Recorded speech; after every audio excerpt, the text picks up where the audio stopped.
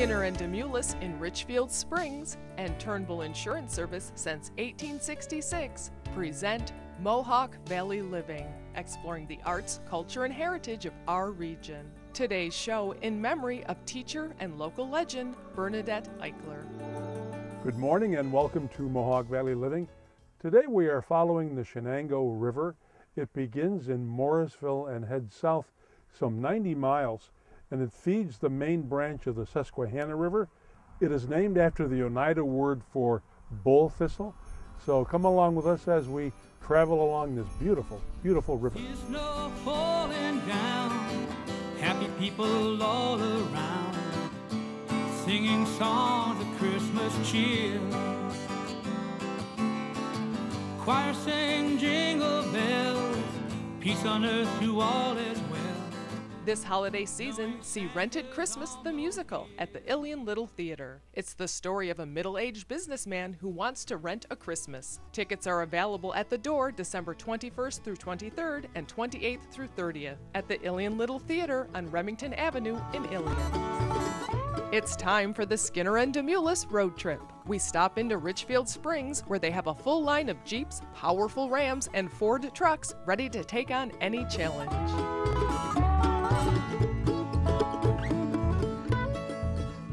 This week, we take a trip along the Chenango River that starts in the Morrisville Swamp area. When we look even closer at the map, we notice one of the feeder streams south of Morrisville College is called the Electric Light Stream. We guess it must have been a source of power at some time. To find the answer, we visit Morrisville College, and who better to ask than the professor of renewable energy, Dr. Philip Hoffmeyer.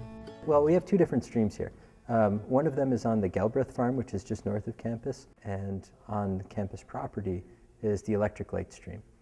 And that started off as a woolen mill uh, in 1820s. And uh, it's been washed out three times since then. And it washed out, the last time was uh, in the 1960s. And again, washed out, there went the, the hydroelectric system.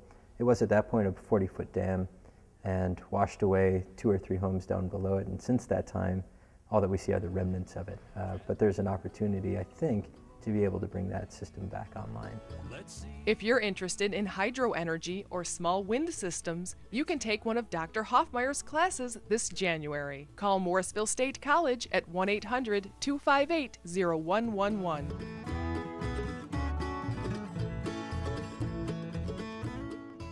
We continue to follow the Chenango River as it meanders south from the college. It eventually leads us to the tiny hamlet of Eaton. The town of Eaton was once the principal location of the Oneida tribe. Europeans began a settlement here in the 1790s, utilizing the river for grist mills and sawmills. The village was known for many years as Log City. Here we are traveling along the Chenango River and what do we come upon in the middle of Eaton but a lighthouse? And there isn't a body of water, there's not a lake, there's not an ocean for miles around, and there's this lighthouse. It was built over 80 years ago as an advertising gimmick, I guess, for the Colonial Beacon Oil Company, and now it's a post office.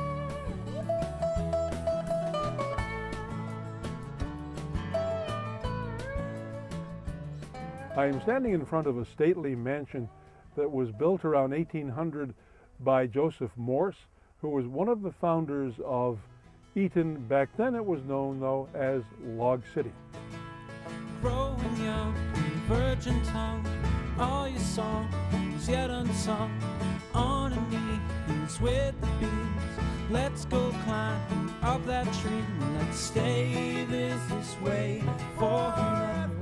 The Chenango River was a critical link in the canal transportation system of the 1800s. We visit a much different mode of transportation at Eaton Aviation. This award winning shop specializes in the restoration of small ragwing aircraft. Well, I retired from corporate flying 20 years ago and repaired a Piper Cub for myself for my own use. And that seemed to have pricked an interest in repairing fabric work and steel tube airplanes that not a lot of shops do today. To me, it's a passion, but we repaired an airplane, and before we had the airplane done, we had our first customer. And thinking I was going to be retired, that stopped because now there are not enough days in the week or hours in the day to, to uh, keep up with what, uh, what we really enjoy doing.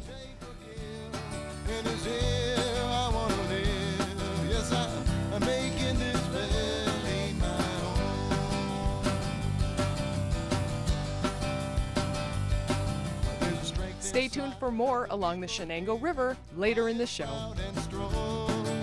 Hearts that reach out so long, so far to help each other along. Watch Mohawk Valley Living on Fox WFXV every Sunday at 7:30 a.m. and 11 o'clock p.m., followed by an encore. And now also available on WUTR every Sunday morning at 11:30 a.m.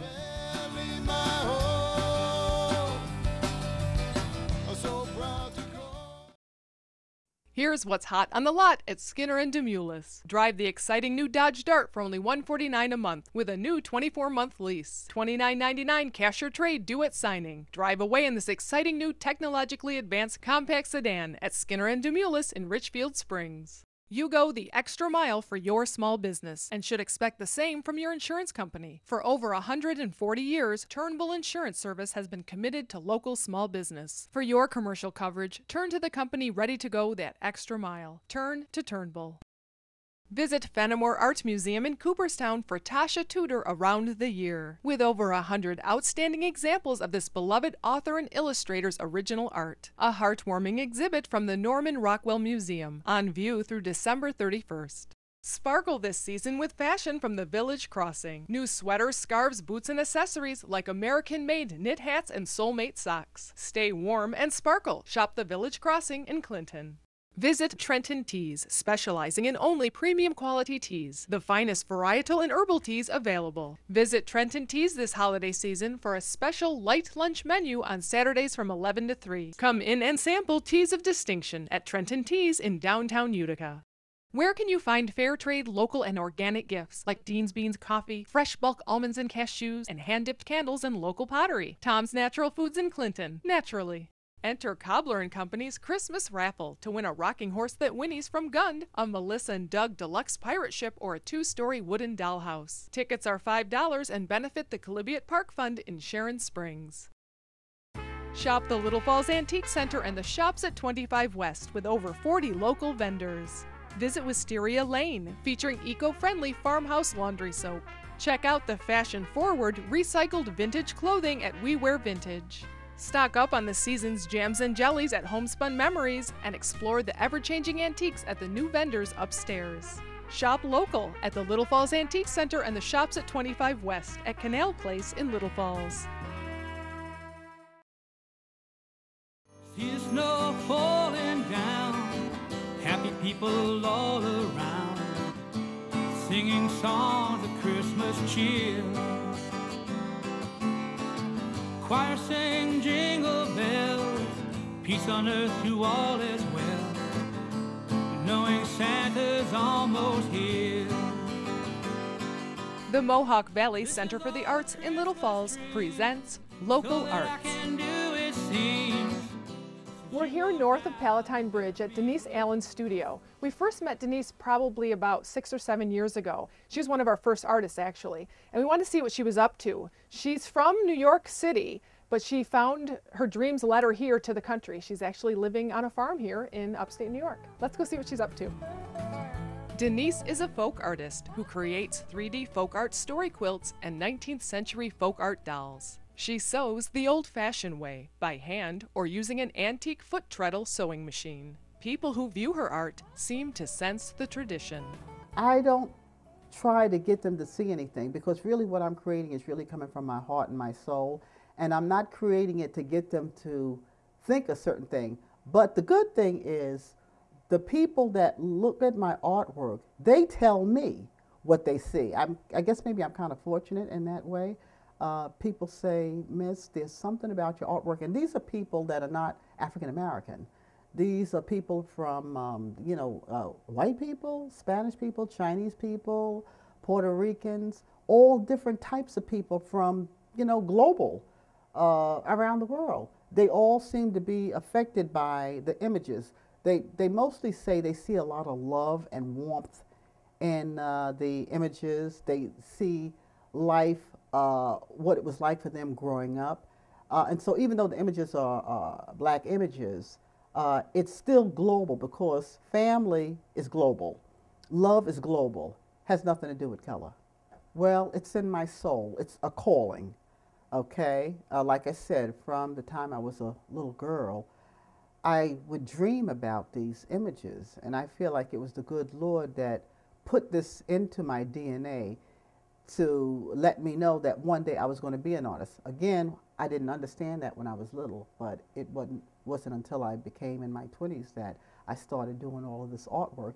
And the people got such a good response from it. I just happened to get a call from the Kahona Museum, and they want me to come and do a, a workshop and a talk about my artwork.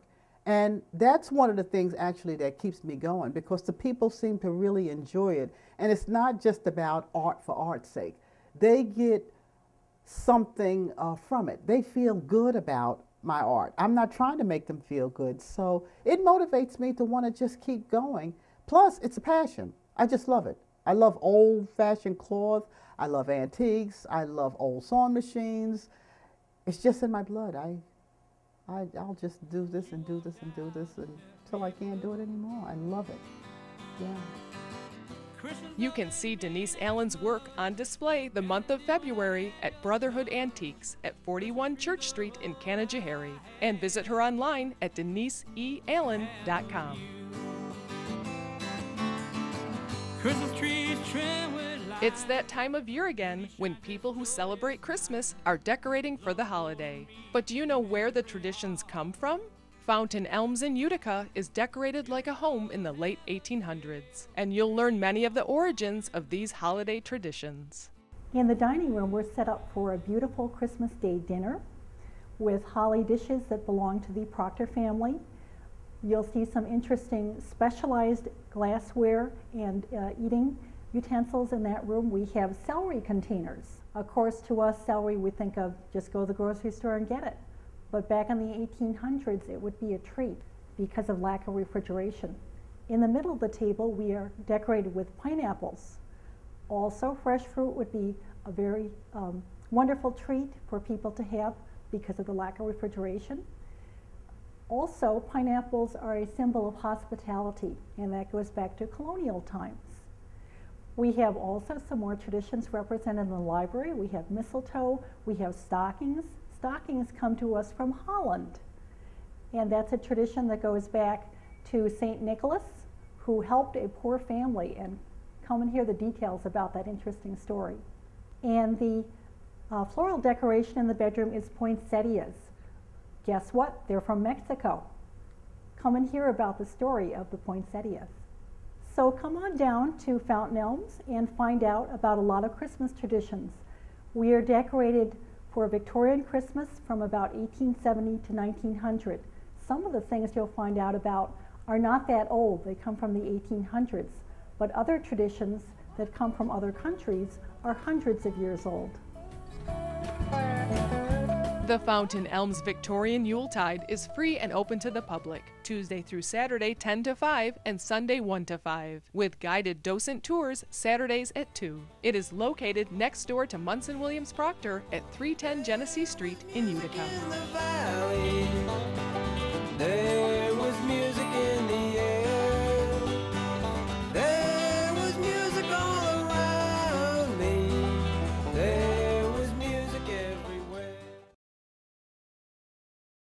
In 1866, James B. Turnbull walked to farms and villages to visit his customers, earning their trust. Today, the fourth generation of Turnbulls continue that dedication, tailoring a life insurance plan to suit your unique needs and priorities. Turn to the company that is out there to earn your trust. Turn to Turnbull. Now you can take out hot specials for lunch and dinner at Maria's Pasta Shop, and on Sundays, fried dough, fried meatballs, and fresh baked rolls. Maria's Pasta Shop, Oneida Street, Utica. For centuries, Sharon Springs has been a destination for replenishing body and spirit. Discover the magic yourself, enjoy dining at fabulous cafes and restaurants, browse quaint shops, and meet skilled artisans. Explore the history and magic of Sharon Springs on scenic routes 10 and 20. Hi, Dr. Tom. Bringing your cat to the Paris Hill Cat Hospital on Sundays is a part of Mohawk Valley Living. Come inside and see why. Paris Hill Cat Hospital, this is Lindsay. How can I help you? Hello, Mrs. Cole. Your cat is losing weight and you need an appointment? And you're only available on weekends. Sure, I have an available appointment with Dr. Karen Sunday at 2 p.m. Does that fit into your schedule? Okay. We're open seven days a week because we know that your cat can become ill anytime. The Paris Hill Cat Hospital, quality care for your cats and kittens. Shop Shelter for handmade Adirondack furniture designed by craftsman Jim Kiefer. He works with you to create custom pieces to your specifications, from dining room and coffee tables to bookcases, beds, and bunks. Call or visit Shelter on Main Street in Old Forge. Meelan's Market is your holiday meat headquarters, featuring low salt, low fat smoked ham and store made kielbasa. Try their famous crown roast of pork or prime rib, and be sure to pre order your fresh seafood and shrimp platters. Meelan's Market at the Four Corners in Clark Mills. Discover the gems of the region at Gems Along the Mohawk, 70 legacies under one roof. Shop local sports teams, colleges, farms, manufacturers, and Herkimer diamond mines with jewelry from around the world. Or give a gift certificate to a local attraction. In celebration of Gems' 10th anniversary, spend $20.12 and be automatically entered to win a $1,000 holiday shopping spree. Share the area's gems with everyone on your shopping list at Gems Along the Mohawk, Thruway Exit 30 in Herkimer.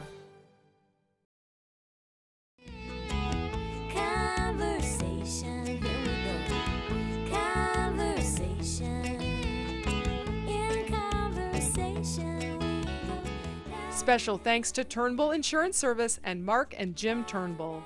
Their continued support makes the show possible.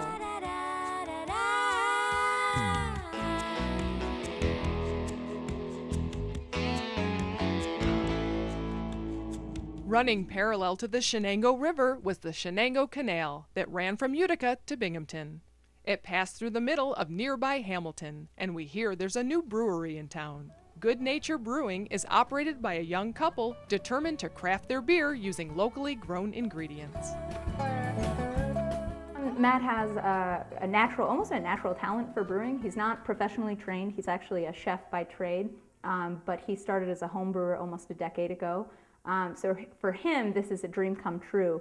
And for me, part of the reason that I wanted to get into this and we built the whole business around this is I wanted to use the business as a vehicle for supporting our agricultural economy around here. So we primarily, you know, uh, to the extent that we can, supply willing, we source our hops locally and our malted barley, at least from within the state.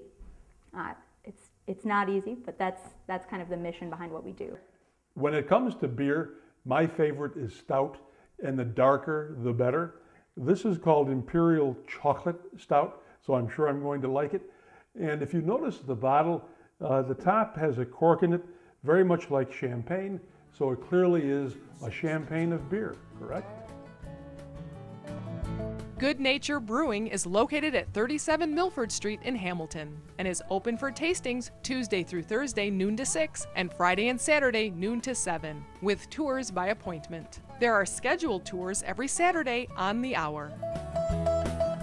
Just down the block from the brewery is where the old O&W Railroad used to run. Back in 1955, there was a train wreck at this location.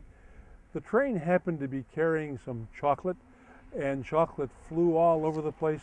So the children from all around came here to gather up the chocolate. And fortunately, nobody was killed.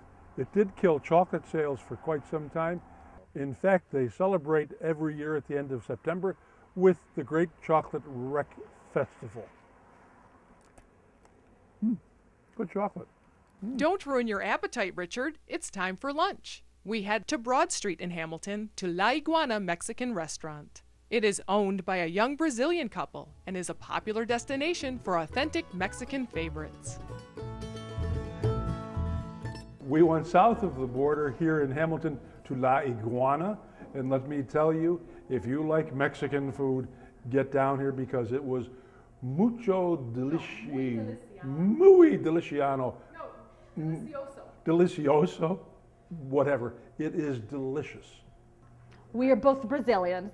We are both Brazilians who came to the States to study and then, uh, you know, ended up having the opportunity to go to college here, change our visas, and move here. And uh, it's been a really fun experience. It's been completely an interesting story was I swear I would never work in a restaurant after my first uh, restaurant job, and I absolutely hated waiting tables. So I was a hostess. I've done a lot of other things, but I said no way. Then I married a chef, and that was all over with. Visit La Iguana tonight, and Mohawk Valley Living fans receive a free appetizer for your table, or enjoy a delicious dessert like churros. La Iguana is located at 10 Broad Street in Hamilton and is open for lunch and dinner Tuesday through Saturday and Sunday for dinner 4 to 8:45. To see what we can see. We head out of the village to the rural homestead of the imaginary farmer. We have featured a few mushroom farms over the years, and if there's a little farmer in you, you might want to try to grow some of your own mushrooms. Scientist Owen Tallman has developed innovative mushroom growing kits using locally and regionally produced materials from the farm and the Chenango River Valley. You can enjoy growing and eating your own mushrooms. Call 520 3989 or visit theimaginaryfarmer.com.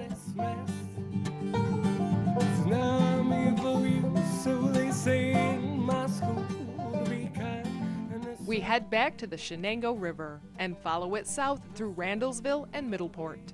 It picks up the Sangerfield River just south of Earlville. Here, where the two rivers combine, we find Dreamweaver Creations. find my way back home.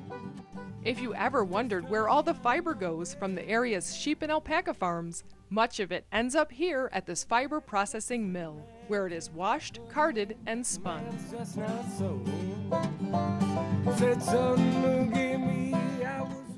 You can visit the mill and store at 384 Williams Road in Sherburne. So they say in be kind and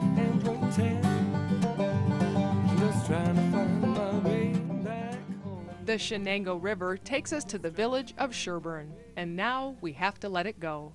From here, it continues its long journey to Binghamton to become part of the great Susquehanna.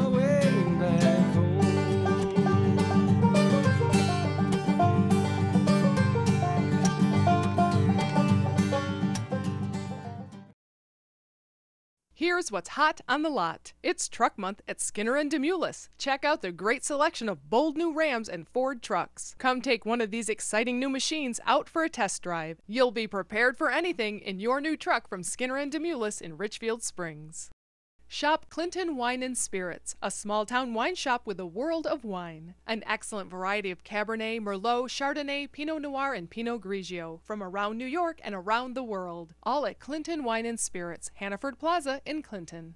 Expecting company? Just call Deansboro Superette. They prepare delicious Middle Eastern platters for any number of guests. Call 841 4377. If you're in a collision, you need precision. Call your insurance company first and then choose Precision Unlimited, providing expert auto body collision repair since 1987 on Route 5 in Clinton. Oscar's Picture Framing is ready to help you with your personalized gift this holiday season. Restore an antique frame or create a new one for your family portrait or child's artwork. Oscar's, Kellogg Road, New Hartford. Fresh cut Mohawk Valley wheatgrass now available at Tom's Natural Foods in Clinton. Allie Lynn's Home and Accessories for distinctive gifts. For the tasteful. For the holidays. For American made. Allie Lynn's Home and Accessories, West Park Row in Clinton.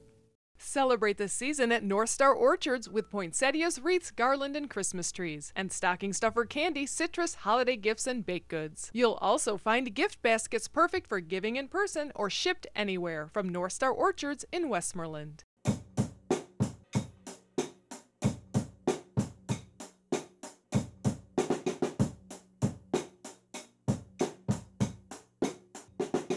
Affordable beginner instruments at Big Apple Music, New Hartford. Shop the new Paca Gardens for the finest alpaca products. Luxuriously warm hats, mittens, sweaters, socks, and rugs. Five times warmer than wool, lighter, and hypoallergenic. Paca Gardens across from Fall Hill Beat and Gem on West Main Street in Little Falls.